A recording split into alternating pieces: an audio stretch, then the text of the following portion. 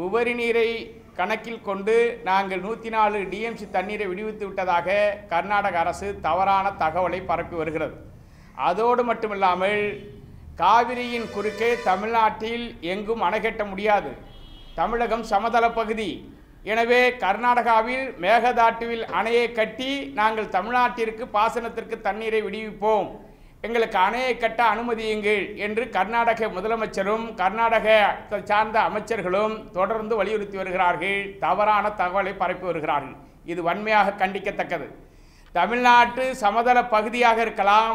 ஆனால் மேட்டூருக்கு மேலே ஒகேனக்கலுக்கு மேலே கிருஷ்ணகிரி மாவட்டத்தில் தமிழக எல்லையாக இருக்கக்கூடிய ராசிமணலில் காவிரியின் குறுக்கே அணையை கட்டி நாற்பத்தி ஏழு புள்ளி அஞ்சு டிஎம்சி தண்ணீரை தேக்க முடியும் என்று ஆயிரத்தி தொள்ளாயிரத்தி அறுபத்தி ஐந்திலேயே தமிழகத்தை ஆண்ட மரியாதைக்குரிய பெருந்தலைவர் காமராஜர் அவர்கள் நேரடியாகவே சென்று அடிக்கல் நாட்டியிருக்கிறார்கள். பணியையும் துவக்கப்பட்டு அது அப்படியே நிலுவையில் இருக்கிறது. எனவே ராசிமணல் அணை கட்டும்படியை தமிழக அரசு உடனடியாக துவக்குவதற்கு மத்திய அரசும் காவிரி ஆணையமும் உரிய அனுமதியை வழங்க வேண்டும். ராசிமணலில் அணையை கட்டி தண்ணீரை தேக்கப்படுமையானால் தமிழ்நாட்டில் வறட்சியே இருக்காது. உபரி நீர் கடலிலே சென்று வடிவதை தடுத்து நிறுத்த முடியும். பாசனத்திற்கு பயன்படுத்த முடியும்.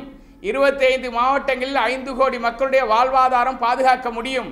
எனவே விரைந்து தமிழக அரசு நடவடிக்கை மேற்கொள்ள வேண்டும். மத்திய அரசும் ஆணையமும் அதற்கான அனுமதியை வழங்க வேண்டும். இதை வலியுறுத்தி கூட வருகிற பதினாறாம் தேதி சென்னையில் சேப்பாக்கத்தில் மாபெரும் உண்ணாவிரத போராட்டத்தை நடத்த இருக்கிறோம். அதற்கான அனுமதியை காவல்துறை விரைந்து வழங்கும் என்று நம்புகிறோம். தமிழக அரசோடு முத்தரப்பு பேச்சுவார்த்தை நடத்தப்படும் என்று மத்திய அரசு கூறியிருப்பது ராசிமணல் அணை கட்டுவதற்காகத்தான் இருக்க வேண்டுமே தவிர மேகதாட்டு அணை கட்டுவது சம்பந்தமாக பேச்சுவார்த்தை என்பதே இடமளிக்க கூடாது. அது எந்த வகையிலும் கர்நாடகம் தமிழ்நாட்டிற்கு தண்ணீரை தர மறுப்பதோடு கர்நாடகத்திற்கு பயனில்லாத தண்ணீரை தேக்கி வைத்து தமிழகத்தை வஞ்சிக்க வேண்டும் என்கிற வக்ரபுத்தியோடு கர்நாடகம் செயல்படுகிறது என்பதை மத்திய அரசு எச்சரிக்கை உணர்வோடு உணர வேண்டும். தமிழக அரசும் எச்சரிக்கையோடு செயல்பட வேண்டும் என்று வலியுறுத்துகிறோம். காவிரி டெல்டாவில் ஒருபோக சம்பா சாகுபடியை துவங்க முடியும்.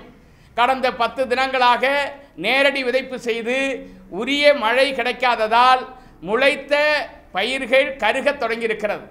நாற்று விடும் பணிகள் நாற்றாங்கால்கள் சரி செய்யப்பட்டு தண்ணீரின்றி விட முடியாத நிலை ஏற்பட்டிருக்கிறது. எனவே தமிழக அரசு உடனடியாக மேட்டூர் அணையை பாசனத்திற்கென திறக்க வேண்டும். பாசன பகுதிகளுக்கு தண்ணீரை கொண்டு செல்வதற்கு தடையாக இருக்கிற வாய்க்கால்கள் ஆறுகளில் மேற மேற்கொள்ளப்பட்டிருக்கிற அவசரகால பராமரிப்பு பணிகள் தடுத்து நிறுத்தப்பட வேண்டும். பாசன பகுதிகளுக்கு விரைந்து தண்ணீர் சென்றடைவதை தமிழக அரசு உறுதிப்படுத்த வேண்டும்.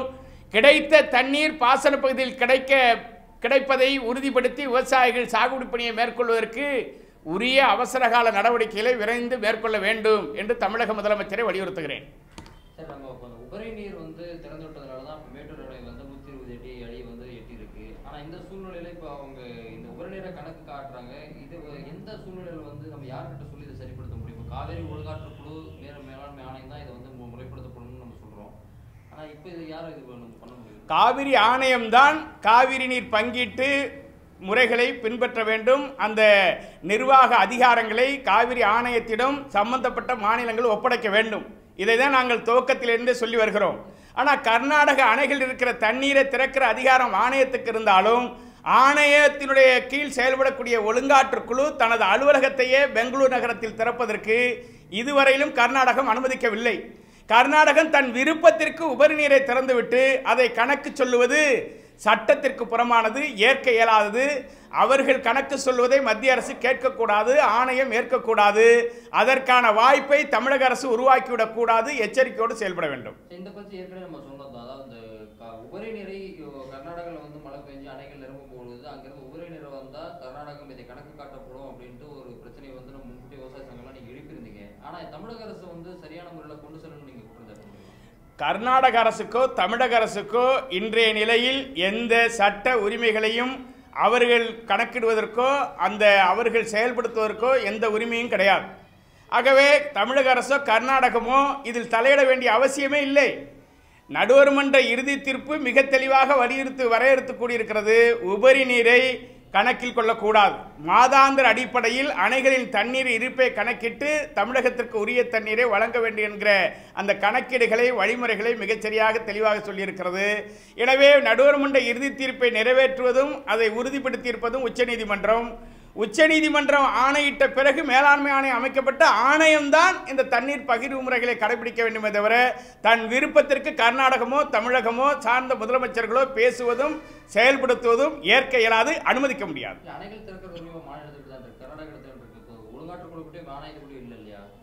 மாநில அரசுகளிடத்தில் எந்த அதிகாரமும் இல்லை. மிக தெளிவாக உச்சநீதிமன்றம் வலியுறுத்தி இருக்கிறது வரையறுத்து சொல்லியிருக்கிறது. கர்நாடகமோ தமிழகமோ அணைகள் அவரவர்களுக்கு சொந்தம். அணைகளுக்கு வரக்கூடிய தண்ணீரும் காவிரி ஆறையும் எந்த மாநிலமும் உரிமை கொண்டாட முடியாது என்பது அழுத்தம் திருத்தமாக சொல்லியிருக்கிறது. இந்த கருத்துக்கு எதிராகத்தான் கர்நாடகம் போராடத் துவங்கியிருக்கிறது.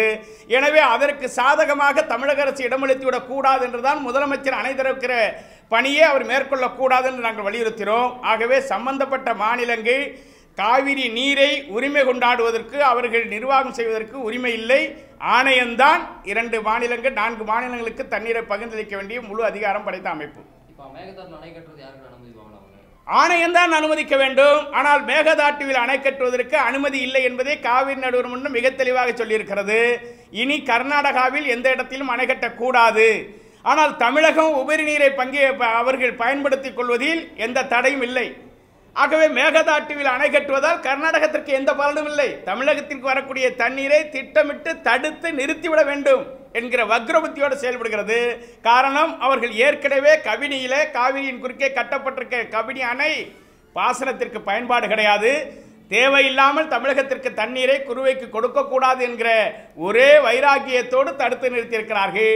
ஒருபோக சம்பா சாகுபடிக்கு உபரி நீர் தான் என்பதை அவர்கள் கடந்த காலங்களில் உறுதிப்படுத்தினார்கள். இன்றைக்கு அந்த உபரி நீரையும் தடுத்து விட வேண்டும் என்று கர்நாடகம் கங்கணம் கட்டி கொண்டு வக்ரபுத்தியோடு செயல்படுகிறது. இதற்கு மத்திய அரசும் ஆணையமும் துணை போய்விடக்கூடாது. தமிழக அரசு இடமளித்து விடக்கூடாது.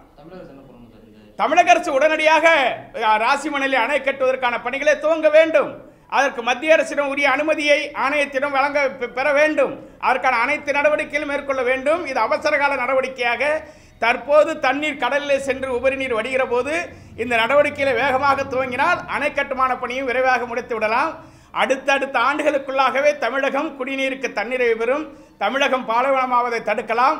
இரண்டு போக சாகுபடியை தீவிரமாக உறுதியோடு மேற்கொள்ளலாம். எனவே தமிழகம் கர்நாடகத்திற்கு இடையான பிரச்சனைகள் நீர்தாரவ பிரச்சனைகள் தீர்க்கப்படும். எனவே உபரி நீர் கடலில் கடப்பது என்பது ஒரு தேவை இருக்கிறது. கடலுக்கு தேவையான தண்ணீரை தவிர்த்து மற்ற தண்ணீரை மனிதர்களுக்கு பயன்படுத்துவதற்கு தமிழக அரசு முன்வர வேண்டும்.